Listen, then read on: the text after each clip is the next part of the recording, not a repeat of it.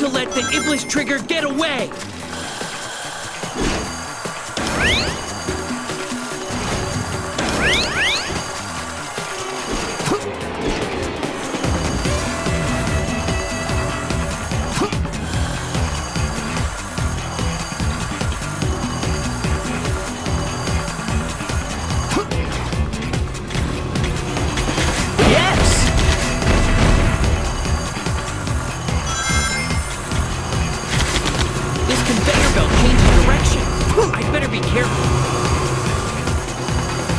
Huh.